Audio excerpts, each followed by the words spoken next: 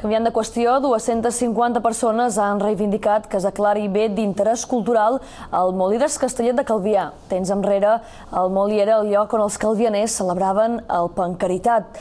Els ciutadans calvianers i d'altres indrets de Mallorca han pujat al Molí per tal de reivindicar, com deim, que es declari bé d'interès cultural pel seu valor paisatgístic i històric. A més, demanen a les administracions que el protegeixin i no deixin que se'n tanqui el camí d'accés. Aquesta construcció, que es troba a una zona anell, ja està catalogada com a bé d'interès enològic per l'Ajuntament de Calvià.